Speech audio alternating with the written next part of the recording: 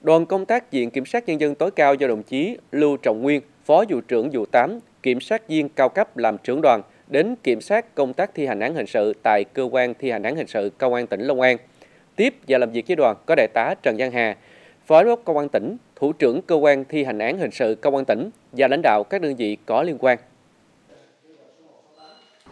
Tại buổi làm việc, đại diện cơ quan thi hành án hình sự Công an tỉnh báo cáo kết quả thực hiện các quy định của pháp luật trong công tác thi hành án hình sự từ 1 tháng 10 năm 2021 đến 30 tháng 9 năm 2022. Theo đó, thời gian qua, cơ quan thi hành án hình sự Công an tỉnh đã kịp thời triển khai thực hiện các văn bản quy phạm pháp luật do chính phủ và Bộ Công an ban hành trên lĩnh vực thi hành án hình sự, thường xuyên tăng cường công tác kiểm tra chấn chỉnh việc tổ chức thực hiện các quy định của pháp luật và của ngành trên lĩnh vực thi hành án hình sự.